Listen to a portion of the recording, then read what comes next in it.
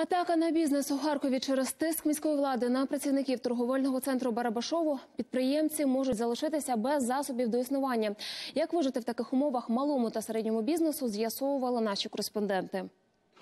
Торговельний центр Барабашово. Його заснували всередині 90-х. Тоді на пустирі виріс чи не найбільший в Європі торговельний центр. Та останнім часом міська влада частинами забирає в підприємців бізнес, не подовжуючи договори оренди на землю, де розташовані магазини. Через регулярну сплату відрахувань до бюджету торговельний центр входить до десятки найбільших в Харкові платників податків.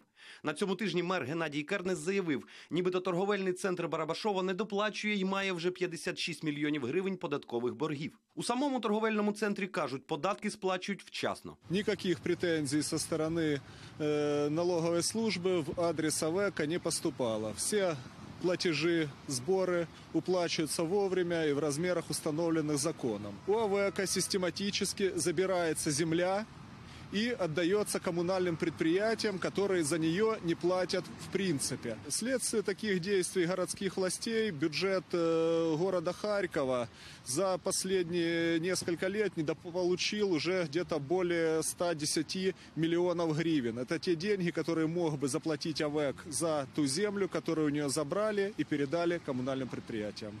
Через зменшення орендної площі зменшується кількість податків, тому гроші недоотримують самі харків'яни.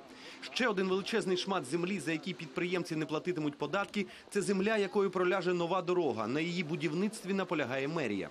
У міськраді апелюють до генплану 1953 року. Цього тижня відшукали й прохання власників прокласти тут дорогу. Тільки документу запевняють в торговельному центрі вже більше 20 років, тож він втратив актуальність. Действительно, в 1997 году рассматривался вариант строительства дороги, э, кото- о которой сегодня заявляет городской совет. Но уже в 2004 году были созданы на этом месте десятки тысяч рабочих мест, десятки тысяч э, торговых объектов, которые решили вопрос трудоустройства огромного количества харьковчан.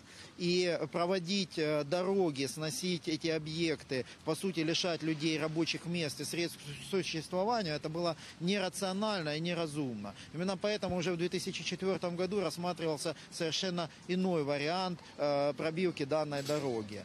Якщо ж мерія все ж розпочне будівництво дороги через торговельний центр Барабашово, під бульдозер підуть 2,5 тисячі магазинів, а без засобів до існування залишаться 25 тисяч харківських родин.